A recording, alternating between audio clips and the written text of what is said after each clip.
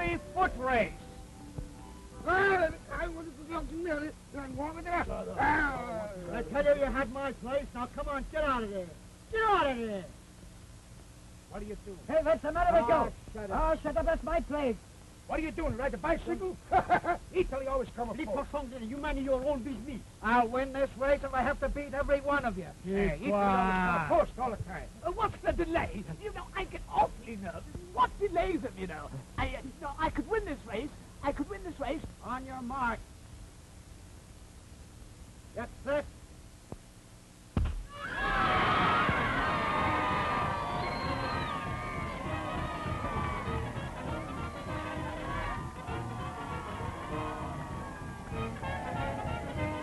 Well, they're running all in a bunch like bananas. Number six in the lead, so all you folks with ticket stubs ending in six, watch the guy in the derby hat. The old chap, number five, battles it out with the fat boy, number three. But oh, why does number six wear that hat? Maybe he has a swelled head to shut in. Seven and four get a break now and look like real enemies. Six has the hat again, but ten has the speed, it seems. But watch out for upsets, for now number seven is leading. Wish him good luck, and there's a detour here. Over the fence is out, so try not to tear it down. Looks like anybody's race. But number eight, the colored lad, gets out of the scramble first, while seven and four are getting more vicious.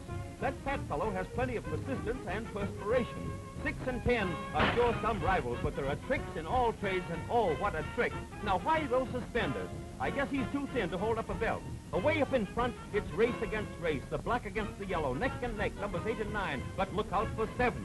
Clever people, these Chinese.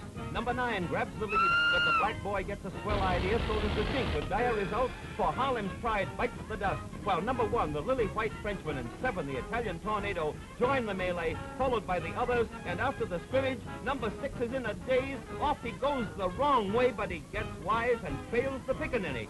Aha, the top of the hill at last, and number one leading temporarily for the Flying Dutchman. Number four is a hot contender, with the tough guy, number two, the runner-up. Old Baldy, number three, looks all in now. Too bad. And here's a happy surprise. Zoe, he's off again. And now the Dutch Sleeper, number four, leads with Frenchy and the South Monk trailing. But Fatty gains some real impetus downhill. On they dash. Old Dutch still keeps his handlebar mustache out in front. Fatty rolls on merrily, and here's what looks like a hiatus. Anyway, it's a high fence. Something must be done. Fatty's coming. The last one over is a sap. Maybe they all are. Five is the tail ender, and wow! Baldy crashes through. Still a downhill game. Dixie Sam, number eight, leads, but Fatty breezes past them all. Hooray! Oh, cancel that hooray. Fatty crashed. Well, number six finds that Fatty wants to play bridge. Sambo pulls a bad flop, and number ten tries fancy diving.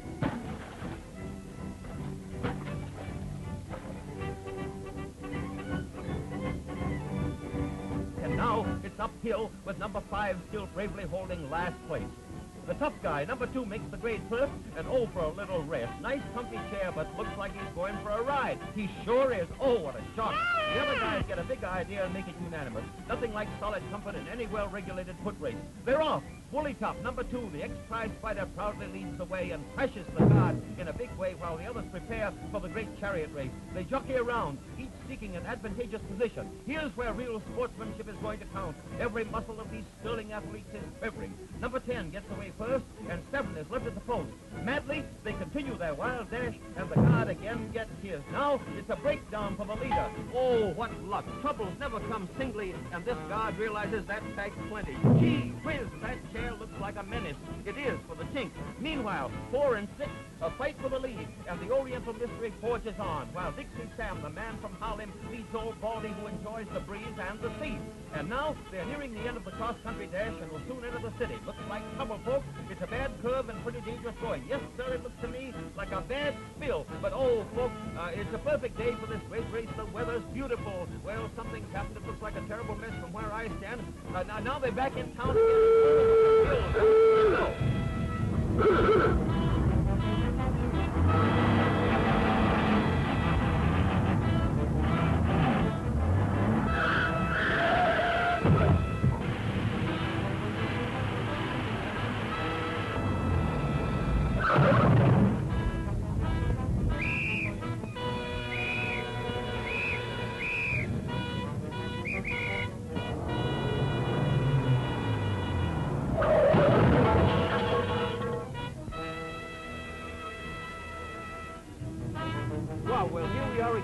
and oh, what speed. Across the tracks and up the opposite hill, going so fast they actually coast uphill. Yes, sir, believe it or not, they defy the laws of gravitation. Oh, boy, what a race.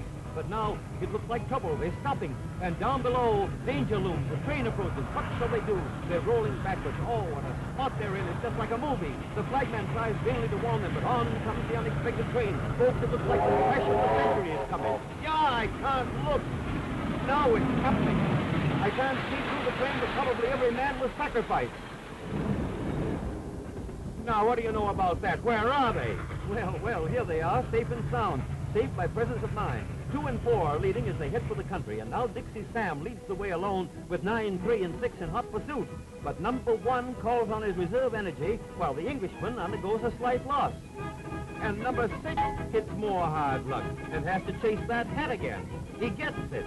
And now, off for the front. It's never too late to win. He joins the gang, but cannot pass them, for now another hill looms into view, right near the finish line. It won't be long now. Someone must win, so cheer for your favorite number. It's anybody's race even now. Yell for your own choice.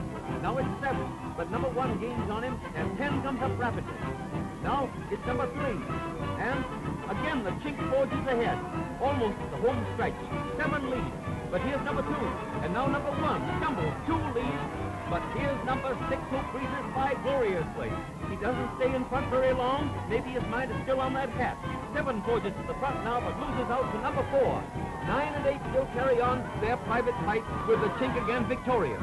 Up front, number six is passed by number three. He loses out to number ten, and at last number five gets in front. Not for long, for nine jumps in, and now it's number four. It's almost over. Three is now leading the